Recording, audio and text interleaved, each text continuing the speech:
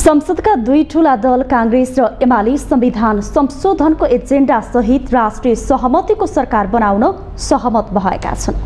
निर्वाचन यता दुई वर्ष नपुग्दै माओवादीबाट आलो पालो धोका पाएका दुवै दलले अब सकेसम्म सबै दललाई समेटेर सरकार बनाउने सहमति गरेका हुन्।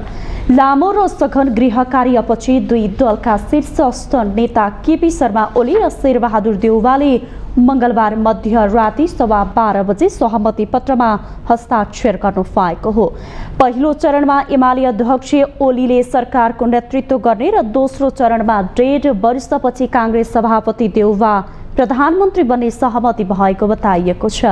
निर्वाचन प्रणाली लगायतका विषयमा संविधान संशोधन गर्न सुझाव आयोग बनाउने समझदारी पनि बनेको छ। राष्ट्रिय सहमतिको सरकार सम्भव नभई संविधान संशोधनका लागि आवश्यक पर्ने दुई तिहाई समर्थन जुटाएर सरकार बनाउने लक्ष्य काङ्ग्रेस र एमालेको छ। सरकारको नेतृत्व गर्ने एमाले अर्थसहित नौ र काङ्ग्रेसले गृह सहित दस मन्त्रालय लिने प्रारम्भिक समझदारी छ। तर राष्ट्रिय सहमतिकै सरकार बनाउने प्रयास भएकाले मन्त्रालयको सङ्ख्या तलामाथि हुन सक्ने बताइएको छ।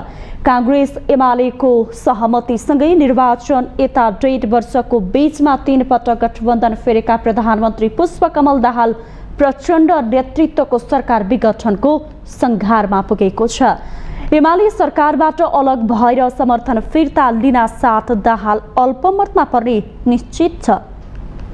त्यसो हुँदा प्रचण्डलाई तत्काल राजीनामा दिने वा विश्वासको मत लिने विकल्प हुनेछ। त्यसको लागि अनौपचारिक रूपमा दाहाललाई राजीनामा दिन अनुरोध गर्ने नभए सरकारमा सहभागी एमाले मन्त्रीहरूले सामूहिक राजीनामा दिने र सरकारलाई दिएको समर्थन फिर्ता लिने समझदारी पनि भएको छ। एमाले समर्थन फिर्ता लिएपछि विश्वासको मत लिन तिस दिनभित्रको समय पाउने संवैधानिक अधिकार रहेकाले त्यतिन्जेल कुर्ने वा छाड्ने भन्ने बारेमा पार्टीले धारणा बनाउन सक्नेछ। विकसित घटनाक्रमबारे राष्ट्रपति रामचन्द्र पौडेललाई समेत मध्यरातमै जानकारी गराइएको छ।